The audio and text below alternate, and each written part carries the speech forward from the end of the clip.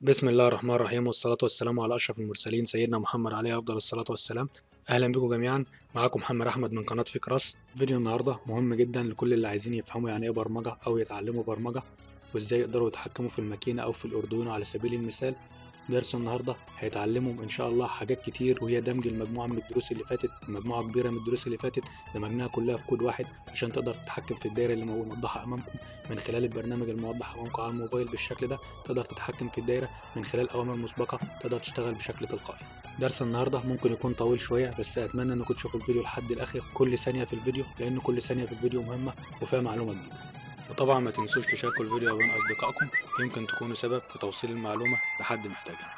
تابعوا معانا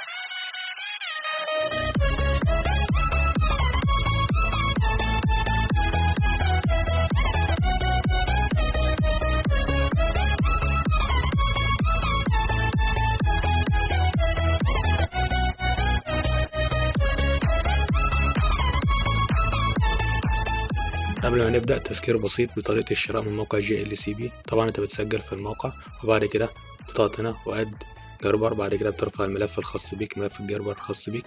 تمام؟ بالشكل ده وبتنتظر. بعد كده بيظهر ليك تقدر طبعا تراجع الملف بتاعك من هنا. إنك بتشوف الصورة بتاعته بحجم أوضح تحملها وتكبرها وبعد كده save to cart بعد ما بتخلص رفع التصميم الخاصة بيك. وبعد كده checkout وبتسجل بياناتك الخاصة بالشحن وبتحدد طريقة الدفع المناسبة ليك عشان توصلك في أقرب وقت إن شاء الله. نبدأ على بركة الله وبنروح على موقع RemoteXY وبعد كده بتسجل طبعا في الموقع الأول. تعمل حساب فيه وبعد كده بنضغط على editor وبتعمل التصميم الخاص بيك. ده طبعا التصميم اللي خاص بينا. وبعدها بتخلص التصميم بتاعك من خلال الإضافات اللي أنت بتضيفها من هنا وبتختار نوع الاتصال ونوع لوحة ال Arduino اللي معاك وهتتصل عن طريق ال module إيه والنوع اللي هتشتغل عليه. وبعد كده بتظبط الإضافات بتاعتك واسم الشبكة و password الشبكة من هنا وال token اللي هتشتغل عليه حسب ال token اللي أنت ضايفه.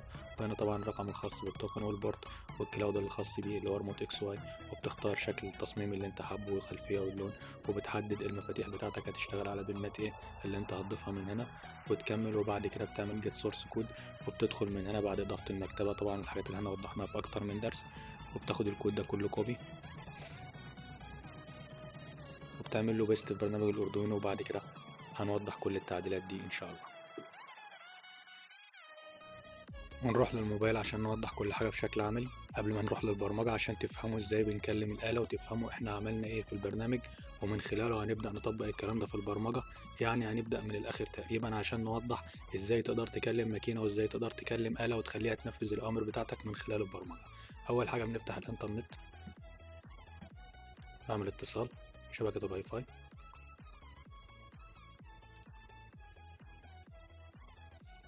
بعد ما اعمل اتصال بشبكة الإنترنت هنفتح برنامج RemoteXY وهنعمل اتصال عن طريق الإنترنت. زي ما واضح أمامكم البرنامج منقسم لقسمين. القسم الأول عبارة عن قياس الحرارة والرطوبة مع تظبيط الحرارة والرطوبة ال level اللي انت حابب تحدده من خلال حساسين زي ما واضح أمامكم اتنين sensor.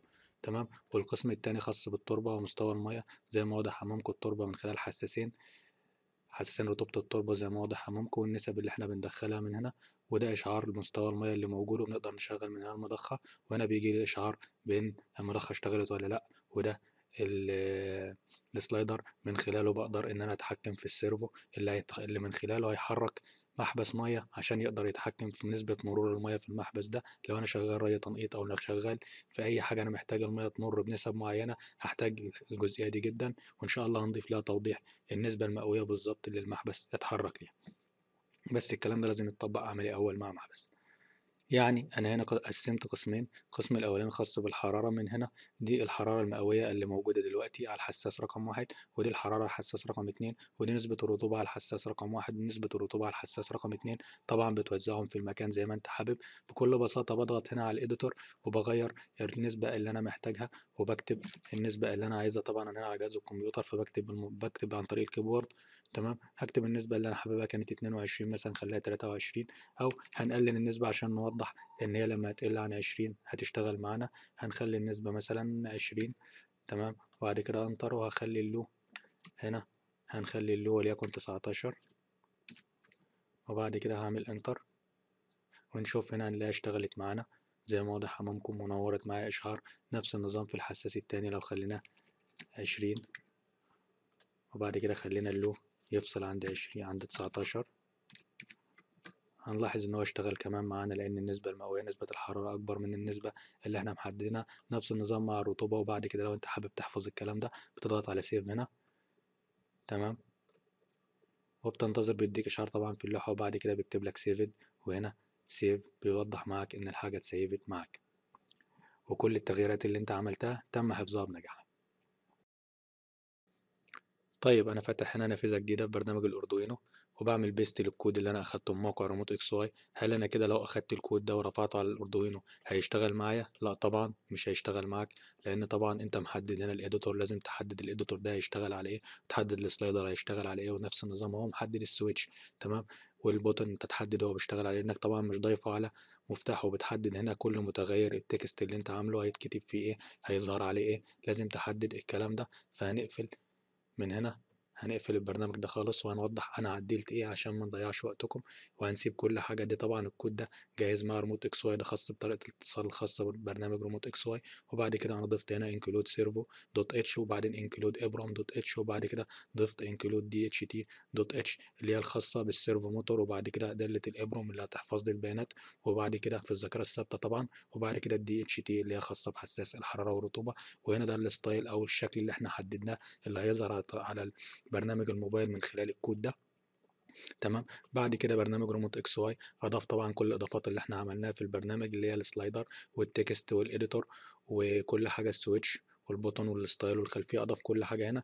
بعد هنا وهنحدد طبعا البنات أنا هنا سميت البنات اللي معايا البن رقم ستة شغلته على ال water pump وال pin رقم 12 شغلته على ال temperature واحد. pin هيشتغل على الحساس رقم واحد في ال temperature هيقيس على القراءة اللي هي قراءة الحرارة وعلى ال humidity الرطوبة هنشغل عليها ال pin رقم 11 وعلى ال temperature 2 هنشغل ال pin رقم 10 وعلى ال humidity 2 هنشغل ال pin رقم 9 وال soil حساس رطوبة التربة رقم 1 هنشغله على ال pin 8 وحساس رطوبة التربة رقم 2 على ال pin رقم 7 وال water in اللي هو حساس رطوبة حساس water level هيشتغل على ال pin رقم 4 ده طبعا digital تمام؟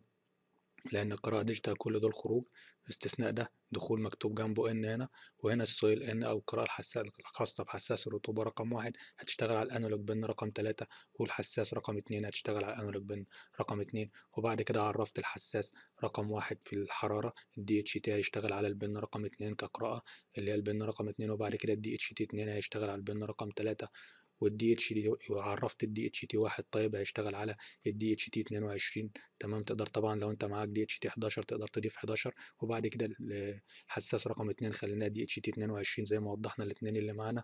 وبعد كده عرفته انت هتشتغل على ال DHT على ال DHT واحد هتعمل القراءة بتاعتك على ال DHT 1 هتشتغل على ال pin رقم الخاص بال DHT 1 وبعد كده هتشتغل على ال type الخاص بال DHT 1 زي ما وضحنا هيشتغل يعني القراءة بتاعته هيجيبها من ال pin ده وهيشتغل على ال mode ده. ونفس النظام مع الحساس رقم 2 هتشتغل على ال pin رقم 3 وعلى ال mode اللي هو ده ال DHT 22 وبعد كده رحنا على ال setup عشان نضيف حالة البنات اللي معانا ضفت هنا my servo attach هتعمل هتشتغل تشغل ال servo اللي معانا على طرف PWM طبعا لازم يكون PWM على الطرف رقم خمسة. وبعد كده أضفت الحالة الخاصة بالبنات زي ما وضحنا خليتها كلها output وال pin رقم 13 ده هيشتغل عليه ال LED اللي موجودة في اللوحة اللي بتوضح حالة التسييف لما بنيجي نحفظ حاجة بيظهر معانا بيظهر معانا الحالة بتاعتها على اللوحة في وقت التسييف أو في وقت الحفظ بتديني إشعار على اللوحة وبعد كده بتديني إشعار في الموبايل.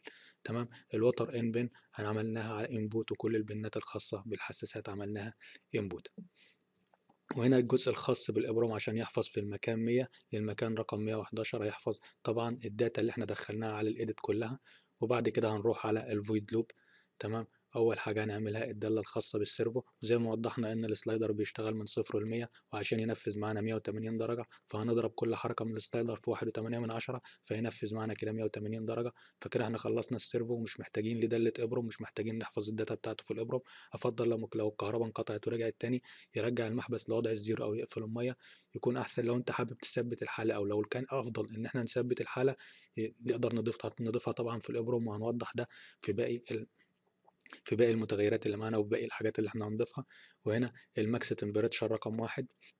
عملته على ال editor أنا عملت هنا متغيرات تانية تمام؟ وسميت max max T رقم واحد اللي هو ال max temperature واحد. هيشتغل على ال editor max T رقم واحد زي زي ما أنتوا واخدين بالكم.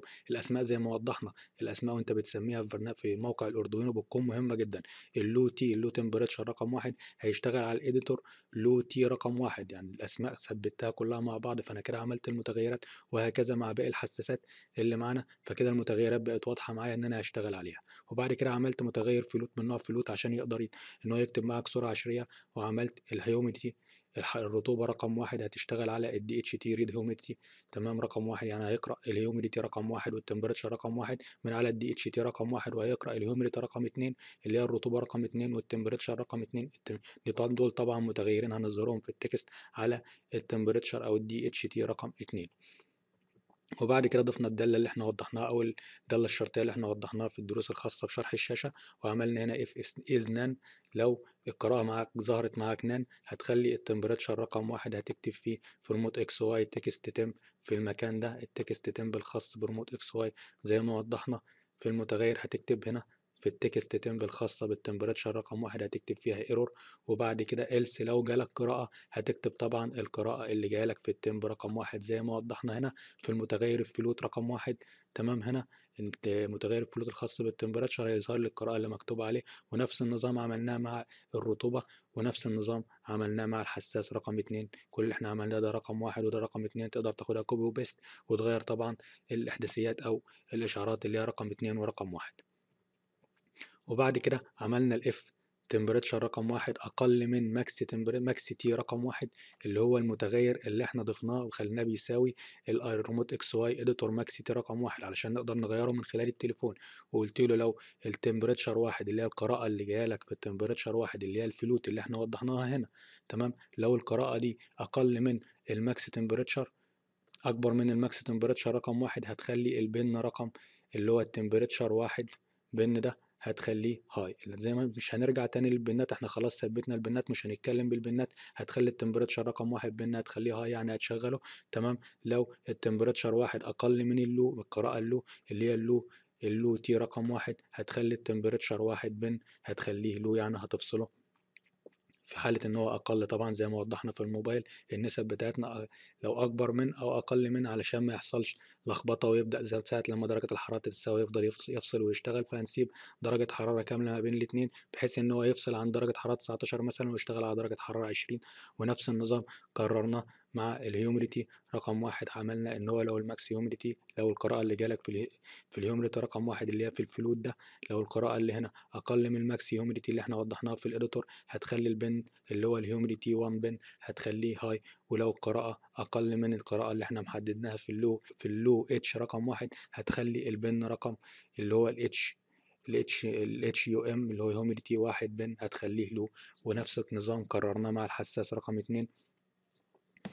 تمام. وبعد كده عملنا int متغير وسميناه soil بيساوي analog read اللي هو ال soil بتساوي analog read هتقرأ القراءة اللي جالك على ال soil ان 1 pin اللي هو طبعا زي ما وضحنا اللي هو ال pin رقم اللي هو ال analog اللي إحنا وضحناه. تمام؟ ال pin بتاعه طبعا ما نرجعش تاني لل pinات التسميات بتخليك تكتب ال pinات مرة واحدة فبعد كده بتقدر تكتب تسميات فبيكون أسهل. وبعد كده عملنا int وعملنا متغير soil رقم واحد percent وسميناه ال soil رقم واحد percent وعملناه له عملنا له mapping خليناه بيساوي ال map دي اللي هي ال map اللي إحنا هنحددها دي. ال soil رقم واحد تمام؟ القراءة اللي هتجيلك من ال soil رقم واحد تمام؟ اللي هي من ألف تلاتة وعشرين لصفر هتخليها تظهر معانا من صفر لمية في المية. يعني هنعمل نسبة مئوية تقريبا. القراءة اللي هتجيلك هتظهر معانا نسبة مئوية تمام؟ وبعد كده نفس النظام مع حساس الرطوبة رقم اتنين. عملنا عملنا متغير int من نوع int integer تمام؟ وخليناه soil رقم اتنين وعملناه analog read و soil رقم اتنين ان soil ان pin هتقرأ على ال soil ان pin اللي هو ال analog اللي إحنا وضحناه وبعد كده هتعمل soil اتنين percent اللي هي النسبة المئوية. هنعمل لها map وهتعمل لي القراءة اللي على ال soil اتنين اللي هي من صفر تلاتة وعشرين. هتظهرها لي من صفر لمية عشان نعمل نسبة مئوية. وبعد كده هتظهر لي الكلام ده في بر في المكان المحدد ال soil percent اللي إحنا عملناها اللي هي ظهرت معايا اللي هي تكون النسبة المئوية اللي معانا هتظهرها معايا على RemoteXY text soil واحد والخاصة بالحساس ال soil رقم اتنين هتظهرها على RemoteXY text soil رقم اتنين. وبعد كده عملنا شرطية ب- على حسب الكود أو على حسب الإدخالات اللي إحنا هندخلها. تمام ال max soil المتغيرات اللي إحنا عملناها فوق. تمام وال low soil والماكس الماكس ال max soil رقم واحد وال low soil رقم واحد. وبعد كده الماكس سويل اتنين واللو سويل رقم اتنين على ال percent اللي هتظهر معانا. تمام وهيشغل معانا ال pinات وهيفصلها. كل حساس هيشغل relay وهيفصله زي ما إحنا حابين. بعد كده هتعمل قراءة digital write على ال pin water pump تمام اللي هي هتظهر على RemoteXY switch water pump اللي هي دي الدالة دي هو كتبها لأنك أضفت على طول ال pin مجرد ما أنت أضفت ال pin بتاعك في برنامج RemoteXY وأنت بتنفذ التصميم بتاعك بيكتبها الدالة دي خاصة بموقع RemoteXY تمام؟ وبعد كده عملنا RemoteXY LED low water R اللي هي ال LED اللي بتظهر لنا حالة ال low water حالة مستوى المية زي ما وضحناها في الموبايل. هتعمل قراءة digital على ال water in pin تمام؟ لو ال water in بقى high هتشتغل معانا اللمبة لو بقى low هتفصل معانا اللمبة. و RemoteXY LED water pump G تمام؟ اللي هي الخاصة اللي بتديني إشعار إن ال water pump اشتغل فعلا ولا لأ. لما بفتحه من المفتاح هل هو فعلا يتنفذ الأمر ولا في مشكلة في الإنترنت والأمر ما اتنفذش؟ بيديني إشعار بيديني إشعار معايا على الموبايل إن فعلا الأمر اتنفذ من خلال LED دي على pin water pump اللي هو بيشغل ال relay معانا وبيشغل المضخة. تمام؟ بعد كده ريموت إكس واي ال اي دي اتش يو ام B تمام ال LED الخاصة ب RemoteXY آه، الخاصة بالرطوبة عشان لو لو أنا فعلا اتحقق الأمر معاها في الرطوبة واشتغلت ال pin الخاصة بالرطوبة هتشغل طبعا من خلال ال pin اللي هو اللي هو humidity pin رقم 1 من خلال ال high وال low هتشتغل معانا لو هو high هتشتغل معانا ال LED لو فصل هتبقى low ونفس النظام في ال LED humidity رقم 2 طبعا بتنور معانا blue تمام؟ اللي هو اللون أزرق وبعد كده ال LED temperature رقم واحد هتشتغل نفس النظام على ال pin الخاصة بتنفيذ الأمر بتاع ال temperature رقم واحد وال LED temperature رقم 2 هتشتغل على ال pin الخاص بيها ال LED عشان تدينا إشعار. نفس النظام كررناه مع حساسين ال soil اللي معانا وهيشتغلوا على الب- البنات اللي معانا لما تنفذ الأمر. طيب إحنا هنسيف الكلام ده إزاي وهنحفظ الكلام ده إزاي؟ بمجرد ما نضغط على المفتاح زي ما وضحنا. هنقول له هنا if RemoteXY button save بيساوي واحد لأن زي ما وضحنا إن ال button وال switch لما بتضغط عليه بي- بيدينا أمر واحد عشان نقدر ننفذ. هتعمل digital write تمام؟ ال pin رقم 13 هتخليها high وبعد كده هتعمل RemoteXY LED save اللي هي ال green اللي بتنور حوالين المفتاح زي ما إحنا وضحنا. هتخليها تشتغل على ال pin رقم 13 فمجرد إن ال pin رقم 13 هيشتغل ال LED دي هتشتغل معانا على الموبايل. وبعد كده ال EEPROM update تمام هنعمل EEPROM update على كل اللي إحنا عملناه كل المتغيرات اللي إحنا كتبناها. ال editor زي ما واضح أمامكم max temperature رقم واحد وال editor low temperature رقم واحد بيعمل update طبعا. فمن خلال ال update لو أنا حصل تغيير هيسيفه لو ما حصلش تغيير بيسيب كل حاجة زي ما هي عشان ما نقدرش مش كل مرة هنعمل تغيير في متغير واحد هنخلي كل الأوامر اللي معانا دي تتغير. فهي ممكن تعمل معانا مشكلة بالنسبة لل NodeMCU لأن مفيش فيها update بس نقدر نعمل لها دالة شرطية if تمام ومحلولة يعني إن شاء الله. إنما من خلال هنا إحنا عندنا ال update نقدر نشتغل عليه زي ما واضح أمامكم. أنا نفذت هنا كل متغير هيحصل معانا هتنفذه في المكان من رقم من المكان رقم 100 المتغير اللي هو ال editor أي متغير أي تغيير هيحصل في ال editor max temperature رقم واحد لغاية ال editor low soil 2 low soil رقم 2 اللي هو الخاص بحساس الرطوبة رقم 2 معانا هنا 12 متغير هتغيرهم معاك وبعد كده هتكتب لي هنا هتكتب لي RemoteXY text save طبعا إحنا عاملين الجزء ده عاملين ملف عاملين ملف text أو عاملين متغير text موجود في برنامج ال Arduino وعاملينه بلون الخلفية فمش هيظهر معانا أي حاجة غير لما يكتب saved يعني تم الحفظ بالفعل. لما يكتب لي saved إن شاء الله هيظهر معاك على الموبايل. وبعد كده عملنا انتظار لمدة ثانيتين بعدها وعملنا else تمام؟ عملنا else لو ما جالكش أي متغير لو محل يعني لو ما ضغطش على المفتاح هتعمل إيه؟ هتخلي ال pin رقم 3 13 هتخليه low وهتخلي ال LED شغالة مع البن رقم 13 زي ما وضحنا. تمام؟